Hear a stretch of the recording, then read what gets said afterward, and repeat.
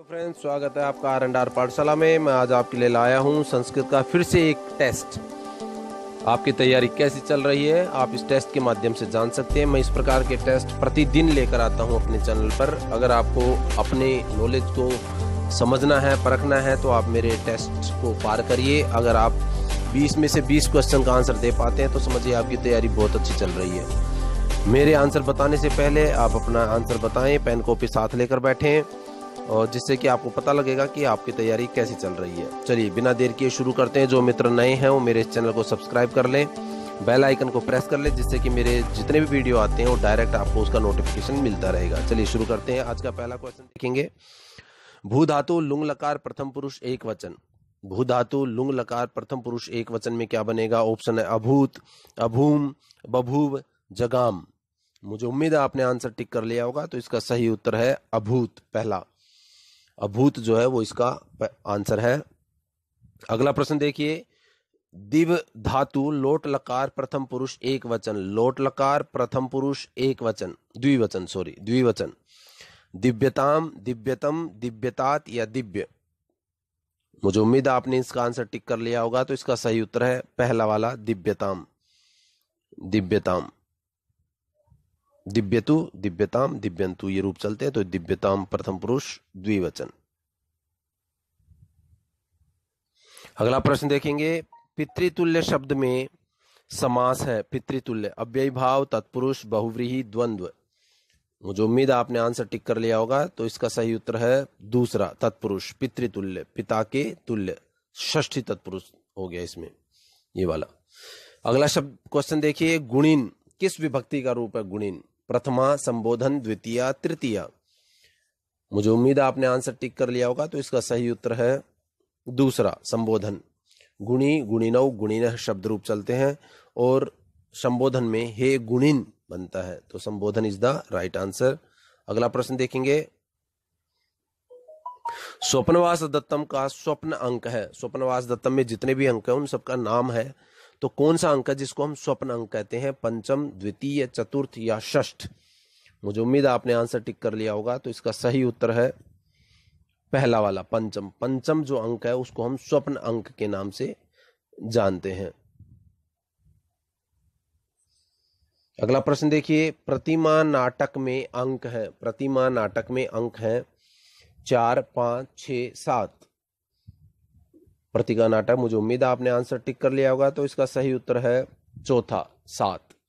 प्रतिमा नाटक में शांत सात अंक है, जो कि एक बहुभूति की रचना है, बहुभूति, ओ सॉरी भास भास की रचना है। भास के तेरह नाटक है, जिसमें से प्रतिमा नाटक भी एक नाटक है, और जिसमें सात अंक है। अगला प्रश्न देखेंगे, श्रव्य काव्य के भेद हैं। श्रव्य काव्य के कितने भेद हैं? दो, तीन, चार या पाँच?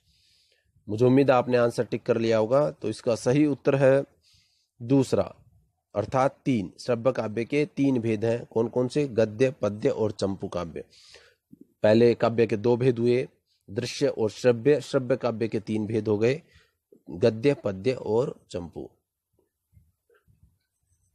अगला प्रश्न देखेंगे। बाणस्तु पंचानन है, किसने कहा है? ऑप्शन है राजशेखर ने, कालिदास ने, श्री चंद्रदेव ने या हर्ष ने? बाणस्तु पंचानन मुझे उम्मीद आपने आंसर टिक कर लिया होगा तो इसका सही उत्तर है तीसरा, श्री चंद्रदेव ने, बाणस्तु पंचानन श्री चंद्रदेव ने बाण को पंचानन का रूप दिया है। चंद्रदेव।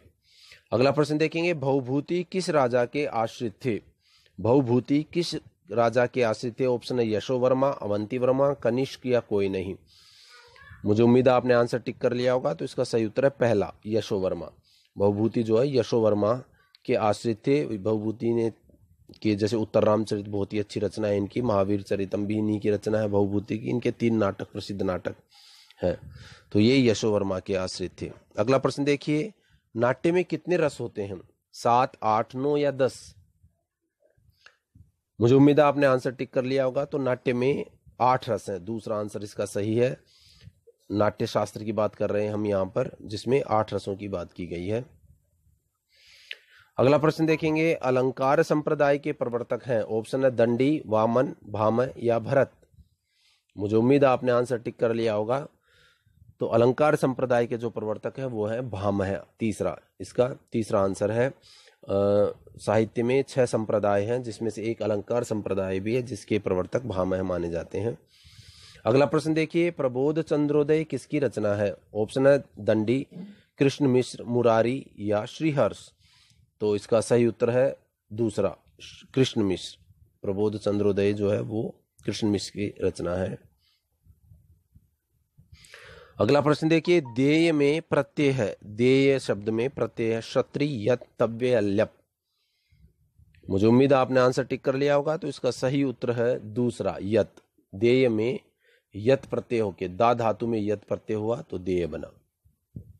अगला प्रश्न देखिए, सभी रूपकों का सामान्य लक्ष्मण लक्षण किसके समान है? नाटक के, प्रकरण के, व्यायोग के या अंक के? मुझे उम्मीद है आपने आंसर टिक कर लिया होगा तो इसका सही उत्तर है नाटक के। अर्थात रूपक के जो दस भेद होते हैं, उन नौ के नौ जो लक्षण हैं, वो नाटक के अंदर निहित होते हैं कि सामान्य लक्षण उनमें मिल जाता है। तो जो नाटक है is the right answer. Next question देखेंगे, उपरूपकों के भेद हैं। उपरूपकों के भेद हैं। ऑप्शन है चौदह अट्ठारह आठ या दस। मुझे उम्मीद है आपने आंसर टिक कर लिया होगा।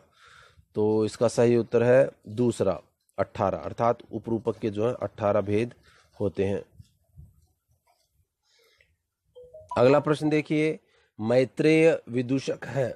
मृक्षकटिकम में, चारुदत्तम में, अभिज्ञान शाकुंतलम में या उत्तर रामचरितम में? मैत्रेय विदूषक। मुझे उम्मीद है आपने आंसर टिक कर लिया होगा तो इसका सही उत्तर है दूसरा चारुदत्तम में। मैत्रेय जो है वो चारुदत्तम में विदूषक का काम करते हैं।